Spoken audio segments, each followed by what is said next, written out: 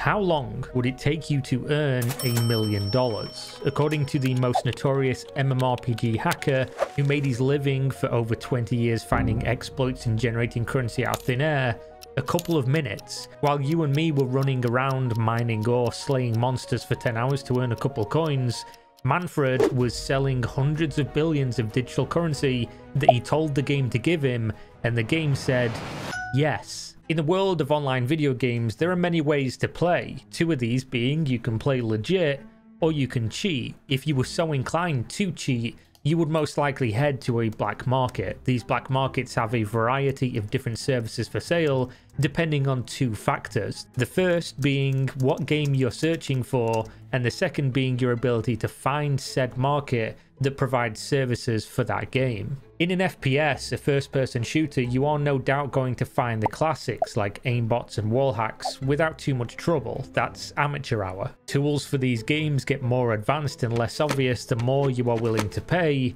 or the better connections you have to the top coders. In skill-based games that house ranking systems, you're likely going to find boosting services, accounts for sale with high ranks and therefore more prestige for the owner, and those boosters are going to subscribe to the same idea I opened this video with. Some are going to play legit, others are going to cheat.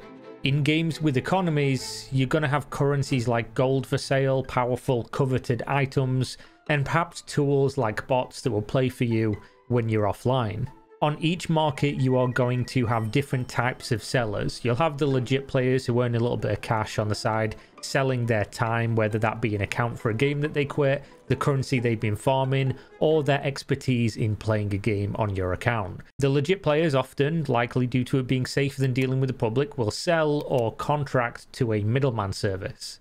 These middlemen buy as much as they can from the private market and then they sell to the public for a markup, as well as connecting customers to the boosters while taking a cut. At the very top of this hierarchy are the people that make the hacks, the people that exploit vulnerabilities in the game code to make this market possible. Except for legit currency or skills being traded, which are few and far between, these hackers are the ones that allow the entire black market to operate.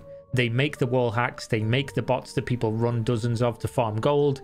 They are the backbone of the industry. As kids, many of us dreamed of making a living playing video games when we grew up, but the reality of most people that make a living playing video games is that this is where they operate. And at the very top of this concept was Manfred. He started his MMORPG journey in the same place as the rest of the Western audience, Ultima Online. The difference being that when most people in that audience got bored and moved to a new game, Manfred got bored and started reverse engineering the client. Speaking of these humble beginnings in Ultima, Manfred's ill-gotten gains came directly at the expense of his rivals, something he vowed never to do again.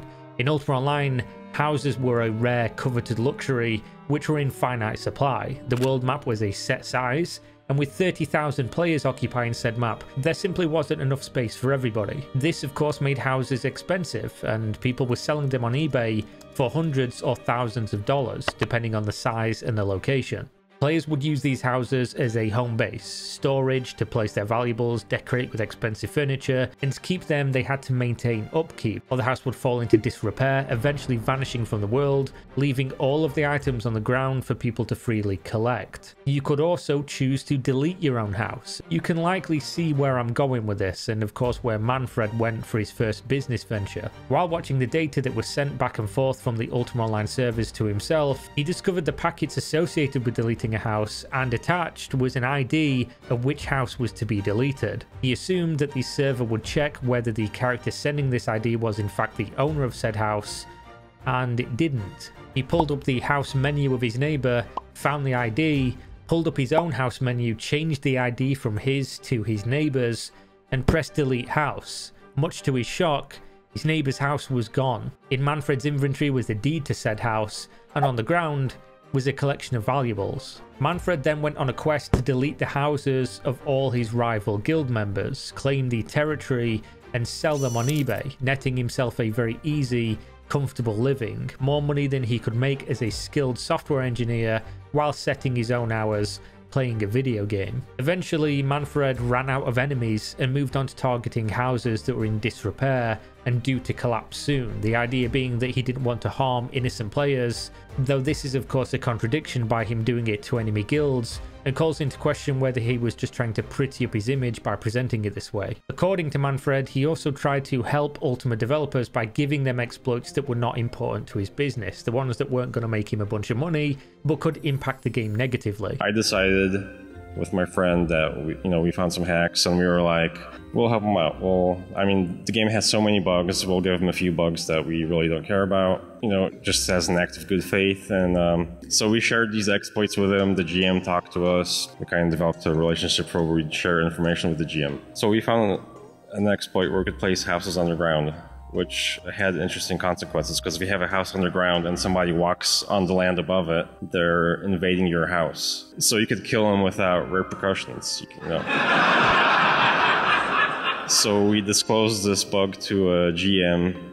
Uh, the GM got fired because the the company thought the GM was working with us because they were like, how are these guys finding these bugs? You know, they have to have inside information. So the GM gets fired, uh, I get banned, my friend gets banned, a bunch of ours get banned. So we're like, all right, we tried to help you out. Uh, screw you guys. So we went around and deleted houses on like all servers that Ultima Online ran.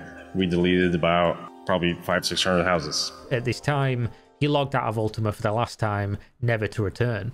The developers came to work on Monday morning to discover what Manfred had done and were forced to roll back the servers to before his antics and apologize for the bug while getting to work on a permanent fix. Manfred decided at this time that he could not continue to harm the player base in this way and so vowed to stop. Not to stop hacking the games for profit, but to stop having negative impact on the actual player base. Instead, going further underground and making sure no one would ever notice what he was doing ever again. Not the players, and certainly not the developers. The next game he went to was Dark Age of Camelot, and he completed his cycle. He enjoyed the game, he got bored, and he started to tinker, learning about the packets, trying to reverse engineer and hack his way to some fun, as well as, of course, some profit. If you send that packet while you're in game and not doing the logout sequence, you disassociate your session with uh, the instance of your character. So the game doesn't think you're logged in even though your character is logged in. So you can log in again and get a fresh copy of your character from the database. And what you can do with this is load up your inventory for a save to happen, uh, dump your inventory on a friend or in the bank, and do the B801 packet where you can log in again and you have all the items that were previously saved. So you can duplicate the entire inventory of your character, including your um, gold. People were selling items and gold on eBay, and he could create infinite amounts of items and gold. You can guess exactly what he did from then on. Of course, he would eventually be moving on to another game, but just to illustrate how silly the early MMORPG security was, this duplication bug existed until 2013, over a decade after Manfred was selling, which was in 2003-2004, which is also the time that eBay banned the sale of digital goods, which pushed the entire market deeper underground. This was the time when Manfred became the supplier for a Chinese vendor for the next few years. Now, just to put a finer point on this for you guys, people buy gold in these games, people buy items. The more popular the game is, the more demand and the more supply there will be for the sale of these products. Anyone who has to farm legit or even use bots will have a certain dollar value per hour that they cannot go below because it simply wouldn't be worthwhile anymore and they would move to another game or just stop entirely. With the ability to duplicate wealth, you can meet the entire demand of the whole market with unlimited supply, undercutting every other seller and putting them all out of business. This means you can single-handedly supply the entire game's demand generating real world dollars the whole time for things you've created out of thin air in seconds. This is essentially an unlimited money glitch, but in real life. The only limit to how much money you can earn if you're in Manfred's position is the demand of the market for you to supply. If you could only do this in a single game, you would probably have a good time until you ruin the game's market or the game's population died down, thus meaning that not many people are buying gold. But according to Manfred, the only game he didn't manage to hack money in was World of Warcraft, which would of course make sense since it was the big game from a big developer, which presumably would have better security.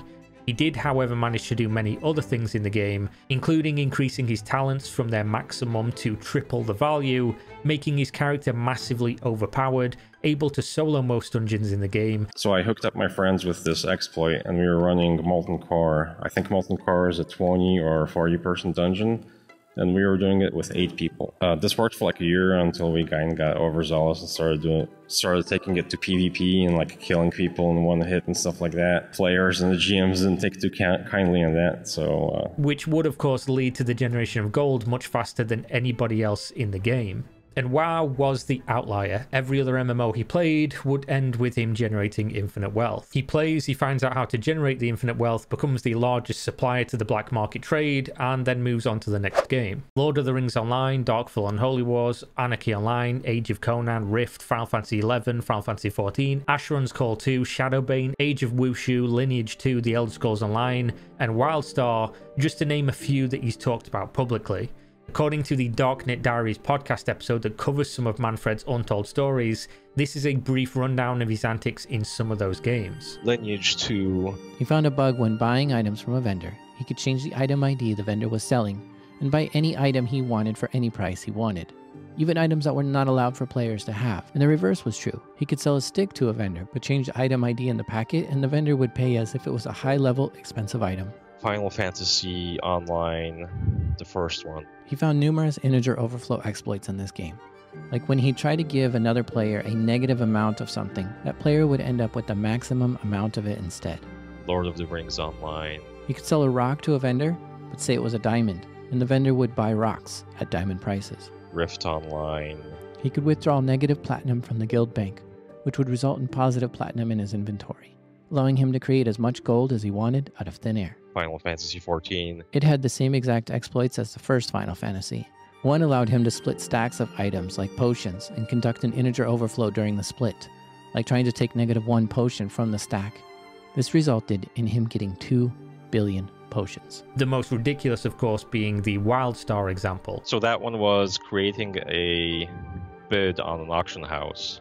Uh, so the specifics of that one were you'd create a maximum signed 64-bit integer bid, uh, which was around 9 quintillion, whatever. You'd have to Google it to get the exact number.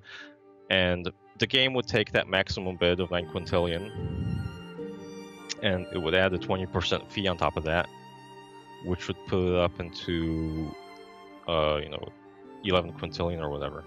So when they tried to subtract 11 quintillion from your character, it would roll your uh, money amount back into the positive, and you'd end up with 9 quintillion in game platinum. If you were to take all the WildStar Online Platinum that Manfred had and sell it for real money in today's market value, Manfred would have 397 trillion US dollars. According to Manfred, he treated this like a real business and he paid his taxes. He even described his job as follows I was basically extending the or expanding the game's functionality to provide players with in-app purchases before in-app purchases were a thing. He refers to himself as an ethical black hat hacker, just providing a service that players wanted that the developers didn't yet provide. Now, knowing a thing or two about MMORPG economies, Manfred, whether he wants to admit it or not, was destroying the economies of these games. It isn't as simple as he makes it sound. To put it into perspective, most MMORPGs nowadays, even if they are considered pay to win, do not sell you currency or resources that are gathered in the game directly. They usually sell cash shop items that you can trade to other players for their in game resources or currency to not create an infinite pool of money that will break the economy over time. If you just create infinite money, inflation gets ridiculously out of control. Manfred is clearly an intelligent individual capable of making a living exploiting games made by billion dollar companies without being caught for over 20 years. I don't believe he truly thinks he didn't cause harm in this pursuit of a career but it is interesting to hear what he has to say and how he thinks this is fine because other hackers were doing really bad things and they are truly the bad guys. A lot of the Chinese and Russian hackers that are involved with this, and there's a lot of them, they hack in a way that's completely black hat and completely unethical. They don't care about compromising servers. They'll send malware to people that play the game just so they could, you know, uh, install a keylogger and steal their game credentials, and they'll, you know, log into hundreds of accounts at a time and basically strip the characters and accounts naked. Uh, immensely hurting the players that are playing this game. What he was doing may have been less in your face to the player base, at least after the Ultima Online antics, but he was still contributing to a massive negative aspect of the industry that many people never even knew existed. As he noticed that in app purchases were becoming the norm and claiming he did not want to compete with the developers, which he believed would have crossed a line into unethical, he quit his career as an MMORPG hacker. So he laid down his black hat and picked up a white one. Manfred has since come out publicly with who he is, done multiple interviews, including a DEF CON talk where he went over some of his exploits, talked about how he did them, created multiple YouTube videos where he does live hacks into current MMORPGs such as Elder Scrolls Online, Final Fantasy XIV, and Guild Wars 2, all while working as a security analyst. All the bugs he shows nowadays are reported to the developers in advance and fixed before he puts them public. So that is the story of Manfred, the most notorious hacker the online gaming world has ever seen, with zero legal repercussions and now a public face to the screen name that supplied a yet unknown dollar amount of black market digital items across dozens of online gaming worlds. Chances are, if you ever bought from the black market in any of these games, you were buying from something that Manfred created out of thin air. Thank you for watching, and I'll see you next time.